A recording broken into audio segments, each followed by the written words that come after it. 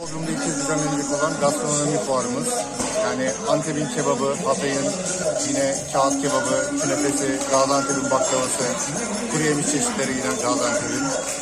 Diyarbakır'ın pestil çömesi, gül ürünleri, gül suyu ürünleri, yine Antep'in karagül kolonyası, Alpek Usta'nın baharat çeşitleri. Yani Anadolu ve Gaziantep, Doğu, Güneydoğu Anadolu'nun bütün yöresel ürünlerini burada halkı, Bodrum halkına sunduk.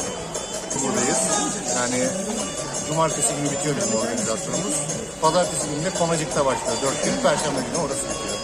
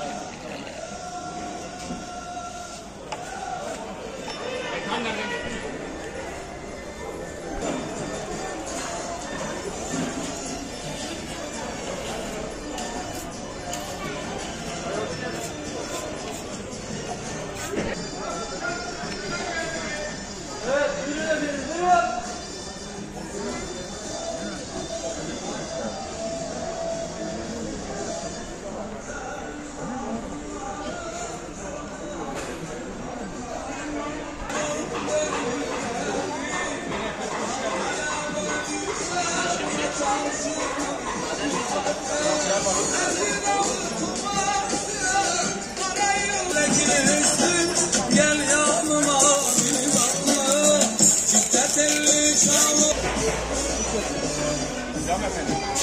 Buyurun efendim. Buyurun efendim. Tablo var efendim. Diyarbakır'dan efendim. Buyurun. Buyurun efendim. Bu da portakal efendim. Bu da portakal efendim. Bu portakal efendim. Buyurun.